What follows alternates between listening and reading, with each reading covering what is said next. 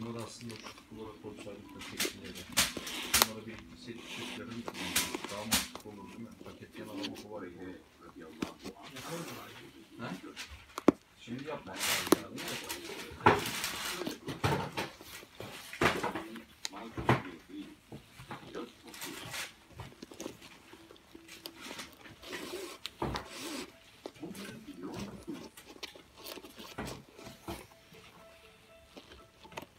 Türkiye Diyanet Vakfı, biz 20 yılı Ramazan programı kapsamında 39 ülkede 254 bin